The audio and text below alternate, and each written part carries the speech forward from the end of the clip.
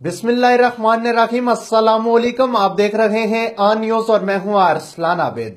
कोटली आज़ाद कश्मीर के गोई और नकियाल सेक्टर में भारतीय अफवाज ने बिला इश्तियाल फायरिंग की। आईएसपीआर के मुताबिक भारतीय फायरिंग के नतीजे में चार शहरी शहीद, जबकि छह शदीद जख्मी हो गए। आईएसपीआर का कहना है कि पाकिस्तानी अफवाज ने भारतीय फायरिंग का मुँह तोड़ जवाब दिया।